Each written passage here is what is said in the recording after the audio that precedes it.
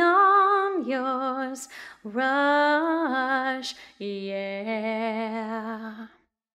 One happy birthday dot com.